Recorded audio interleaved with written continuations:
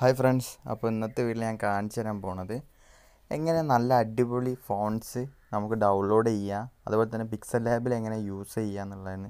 അപ്പോൾ ഈ വീഡിയോ ഞാൻ ഇന്നലെ ഒരു വീഡിയോ ചെയ്തിരുന്നു. നമുക്ക് എങ്ങനെ നല്ല അടിപൊളി വാട്ടർമാർക്ക് എങ്ങനെ ഉണ്ടാക്കാമെന്ന് അപ്പോൾ അതിന് വേണ്ടിയിട്ട് ഞാൻ യൂസ് ചെയ്ത കുറച്ച് ഫോൺസ് ഉണ്ടായിരുന്നു. അപ്പോൾ അതെങ്ങനെ ഡൗൺലോഡ് ചെയ്യാമെന്ന് കുറച്ച് ആൾക്കാർ ചോദിച്ചു.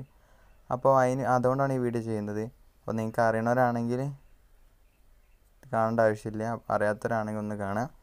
അപ്പോൾ ആദ്യം നമുക്ക് ചെയ്യേണ്ടത് ക്രോം ഓപ്പൺ ചെയ്യാം.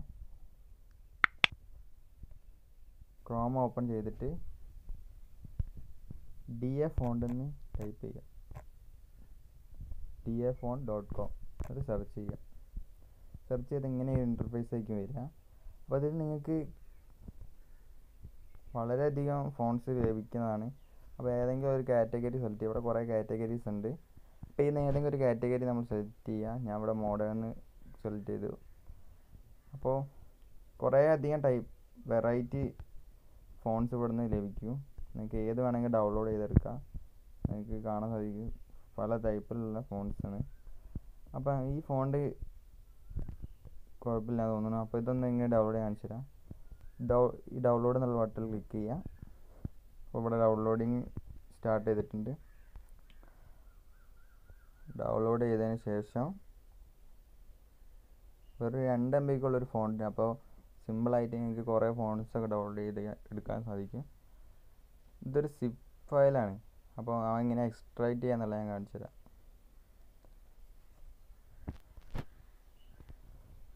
ഡൗൺലോഡ് ആയതിനു ശേഷം എക്സ്ട്രാക്റ്റ് ചെയ്യുക എക്സ്ട്രാക്ട് ചെയ്യേണ്ട എവിടേക്കാന്ന് വെച്ചാൽ നമ്മുടെ ഇന്റേർണലോ എസ് ടി കാർഡിൽ ഏത് വേണം സെലക്ട് ചെയ്യുക ഞാൻ ഇപ്പോൾ എക്സ് ടി കാർഡ് സെലക്ട് ചെയ്ത് ആദ്യം തന്നെ ഫോണ്ട് എന്നുള്ള ഒരു ഫോൾഡർ ക്രിയേറ്റ് ചെയ്യുക ഞാൻ ഇവിടെ ആദ്യം ഒരു ഫോൺ ക്രിയേറ്റ് ചെയ്തുകൊണ്ട് അത് ഓപ്പൺ ചെയ്യുക ഓപ്പൺ ചെയ്തതിന് ശേഷം എക്സ്ട്രാക്റ്റ് കൊടുക്കുക. എക്സ്ട്രാക്റ്റിംഗ് ചെയ്താൽ നമുക്ക് ആ ഫോണ്ട് കിട്ടുള്ളൂ.